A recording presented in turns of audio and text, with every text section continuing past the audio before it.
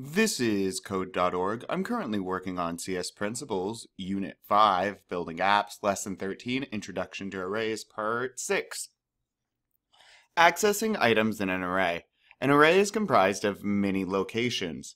You can individually set or reference the information at each location of your array, just like a variable. To tell your locations apart, each has a separate number or index that identifies it.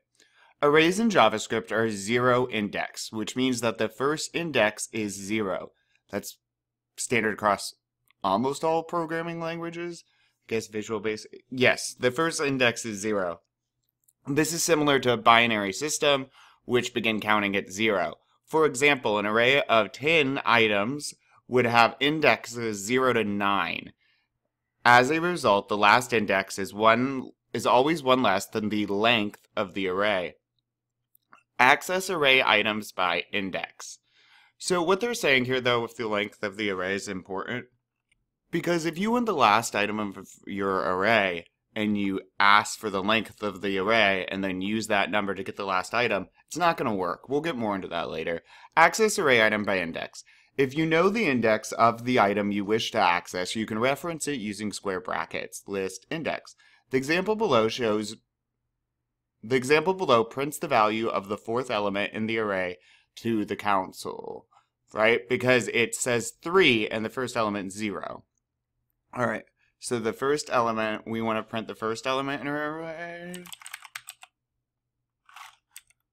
Console log.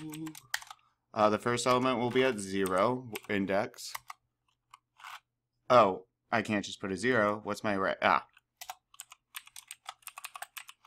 you do it like this. Okay? And then I'm going to just copy and paste because I need to do this three times. First, the last. So it's 10 long, so that's a 9.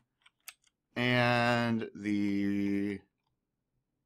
Oh, we want to display the number 5. So start counting at zeros. It's weird, but it, 0, 1, 2, 3, 4. Let's see. 1, 10, and 5. Perfect. But uh, index gets easier as we keep going.